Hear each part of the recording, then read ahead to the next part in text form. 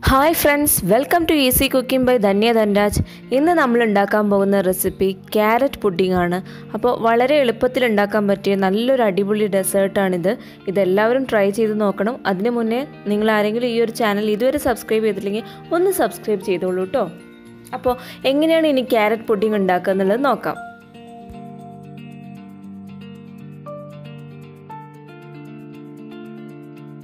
Carrot pudding ഉണ്ടാക്കുന്നതിന് വേണ്ടിയിട്ട് ഞാനിവിടെ നാല് കപ്പ് പാലാണ് എടുത്തിട്ടുള്ളത്. ടു ഫോർട്ടി എം എല്ലിന്റെ മെഷറിംഗ് കപ്പിലാണ് പറഞ്ഞിട്ടുള്ളത്.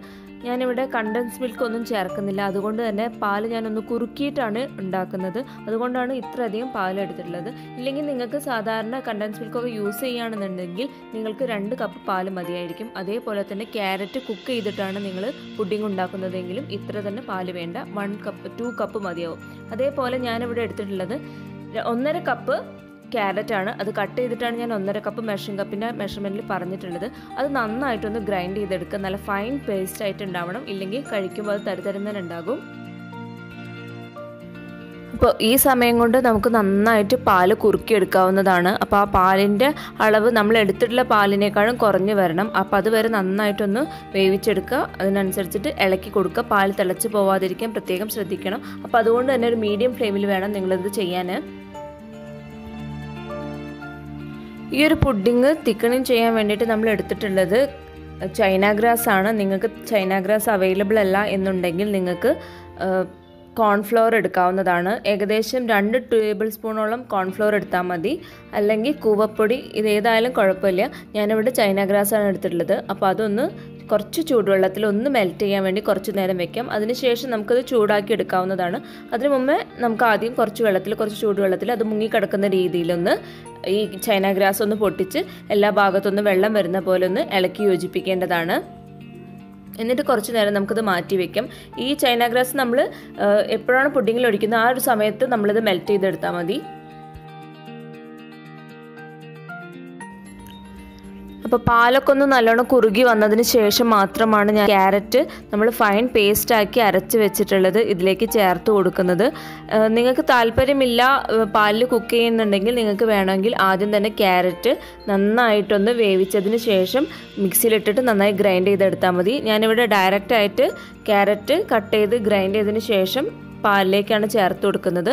അപ്പോൾ ഈ പാലിൽ കിടന്നിട്ടാണ് നമ്മൾ ഈ ക്യാരറ്റ് നന്നായിട്ടൊന്ന് വേവിച്ചെടുക്കുന്നത്. അതിന്റെ ആ ഒരു പച്ച ചോയൊക്കെ ഒന്ന് മാറി കിട്ടുന്നത് ഈ പാലിൽ വെച്ചിട്ടാണ്.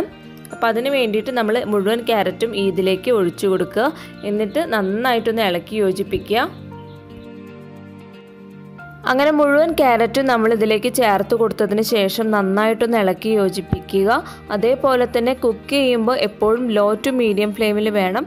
തീ ഉണ്ടാവേണ്ടത്. അപ്പോൾ ഇനി ഇത് നന്നായിട്ടൊന്ന് ഇളക്കി യോജിപ്പിക്കേണ്ടതാണ്. ഏകദേശം ക്യാരറ്റൊക്കെ ഒന്ന് കുക്കായി വന്നതിന് ശേഷം നമുക്കിതിലേക്ക് മധുരത്തിനുള്ള പഞ്ചസാര ചേർത്ത് കൊടുക്കാവുന്നതാണ്. ഞാനിവിടെ അര കപ്പ് പഞ്ചസാരയാണ് ചേർത്ത് കൊടുത്തിട്ടുള്ളത്.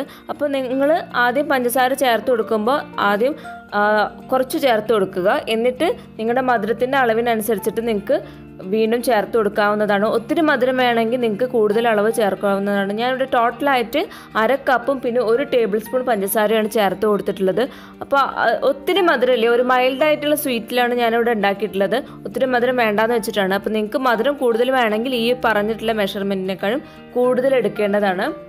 അതേപോലെ തന്നെ നമുക്ക് ഒരു ഫ്ലേവറിന് വേണ്ടിയിട്ട് കുറച്ച് ഏലക്ക പൊടിച്ചതും കൂടി ചേർത്ത് കൊടുക്കാവുന്നതാണ്. ഏലക്കയും പഞ്ചസാരയും കൂടി ചേർത്ത് പൊടിച്ചിട്ടുള്ളതാണ് ചേർത്ത് കൊടുക്കുന്നത്. അത് ഇഷ്ടമില്ലെങ്കിൽ നിങ്ങൾക്ക് അവോയ്ഡ് ചെയ്യാം. അതേപോലെ തന്നെ നിങ്ങൾക്ക് വാനില എസൻസ് ഇഷ്ടമാണെങ്കിൽ അതും ചേർത്ത് കൊടുക്കാവുന്നതാണ്. അപ്പോൾ അതൊക്കെ നിങ്ങളുടെ ഇഷ്ടത്തിനനുസരിച്ച് നിങ്ങൾ ചേർത്ത് കൊടുക്കുക. അങ്ങനെ നമ്മുടെ കുക്ക് ചെയ്തിട്ടുള്ള ക്യാരറ്റും ആ ഒരു പാലിന്റെ മിശ്രിതം റെഡി ആകുന്നതിന് സമയത്ത് നമുക്ക് നമ്മൾ വെള്ളത്തിൽ കുതിർത്ത് വെച്ചിട്ടുള്ള ചൈന ഗ്രാസ് ഒന്ന് മെൽറ്റ് ചെയ്തെടുക്കാവുന്നതാണ്. വളരെ കുറച്ച് വെള്ളം കൂടി ചേർത്ത് കൊടുത്തിട്ട് ലോ ഫ്ലെയിമിൽ തീ വളരെ കുറച്ച് വേണം നമ്മളിത് മെൽറ്റ് ചെയ്തെടുക്കുക അല്ലെങ്കിൽ ഡബിൾ ബോയിലിംഗ് ചെയ്യേണ്ടതാണ്. ഒരു പാത്രത്തിൽ വെള്ളം വെച്ചിട്ട് അത് തിളയ്ക്കുന്നതിന്റെ മുകളിൽ നിങ്ങൾ ഈ ചൈന ഗ്രാസ് വെച്ചിട്ടുള്ള പാത്രം വെച്ചിട്ട് നന്നായിട്ടൊന്ന് അത് മെൽറ്റ് ചെയ്തെടുക്കേണ്ടതാണ്. അപ്പോൾ നമ്മുടെ ചൈന ഗ്രാസ് നന്നായിട്ട് മെൽറ്റായി വന്നിട്ടുണ്ട്.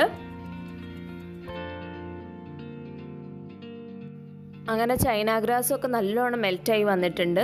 ഇനി നമുക്കിത് നമ്മുടെ പുഡിങ്ങിലേക്ക് ഒഴിച്ചെടുക്കാവുന്നതാണ്. അപ്പോൾ ഒഴിച്ചെടുക്കുന്ന സമയത്ത് രണ്ടും കൂടി ഒന്ന് പിരിഞ്ഞു പോകുന്നത് പോലെ തോന്നും. അങ്ങനെയൊന്നുമില്ല. രണ്ടും കൂടി നന്നായിട്ടൊന്ന് ജോയിന്റ് ചെയ്ത് കൊടുക്കുക. നന്നായിട്ടൊന്ന് ഇളക്കി യോജിപ്പിച്ചാൽ മതി. എന്നിട്ട് കുറച്ച് നേരം മാത്രം കുക്ക് ചെയ്തിട്ട് നിങ്ങൾക്ക് ഫ്ലെയിം ഓഫ് ചെയ്യാം.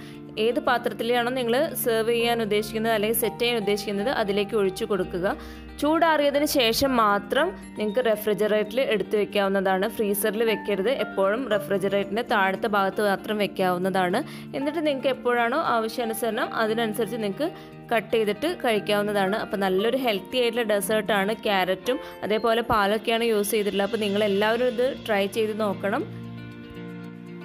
അപ്പോൾ ഈ ഒരു വീഡിയോ നിങ്ങൾക്ക് ഇഷ്ടപ്പെട്ടിട്ടുണ്ടെങ്കിൽ ലൈക്ക് ചെയ്യാനും ഷെയർ ചെയ്യാനും കമന്റ് ചെയ്യാനും മറക്കരുത്. അതേപോലെ ഈ ചാനൽ ഇതുവരെ സബ്സ്ക്രൈബ് ചെയ്തിട്ടില്ലെങ്കിൽ ഒന്ന് സബ്സ്ക്രൈബ് ചെയ്തോളൂ. എന്നിട്ട് അതിന് തൊട്ടടുത്തുള്ള ബെൽ ബട്ടണും ഒന്ന് ക്ലിക്ക് ചെയ്ത് കഴിഞ്ഞാൽ ഞാൻ പുതുതായിട്ട് അപ്ലോഡ് ചെയ്യുന്ന സമയത്ത് നിങ്ങൾക്ക് വീഡിയോസ് അപ്പോൾ തന്നെ കാണാൻ പറ്റുന്നതാണ്.